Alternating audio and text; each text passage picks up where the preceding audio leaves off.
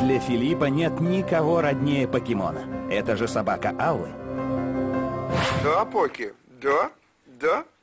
Про Аллочку говорим, нашу. Хи-хи-хи-хи. Киркоров бережно хранит все то, что напоминает ему о бывшей жене.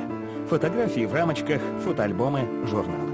И даже пес с забавной кличкой – напоминание о женщине, которая поет. Это наша собака, покемон, который я когда-то привез ей из Америки. Вот. Потом он, у него, у покемона родился сын, Майло. Вот. И они начали драться. Поэтому покемона пришлось отдать мне.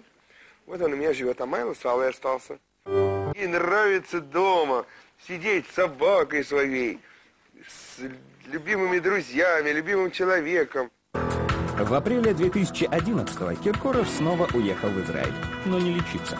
Там, в свой 44-й день рождения, он дал сольный концерт. Публика Тель-Авива певца боготворила. А он был снова грустен и каждую минуту вспоминал свою бывшую жену. А ты тишина, снова я остался. Сильно я так что-то плачет окна.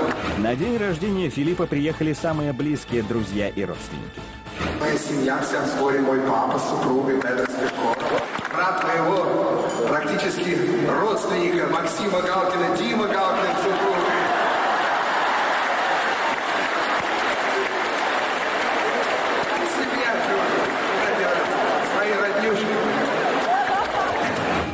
Одна из израильских бизнесвумен подарила Киркорову кольцо. Массивный перстень из черной вулканической лавы, украшенный бриллиантами и рубинами.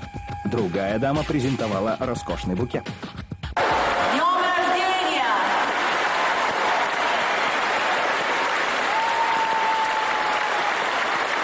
Ты король, и тебе королевство цветы. Но та самая любимая женщина на день рождения так и не приехала.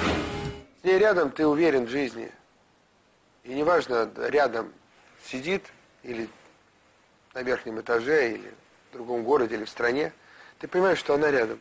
Как психологи уверены, чтобы избавиться от наваждения, Киркорову необходимо забыть Пугачеву.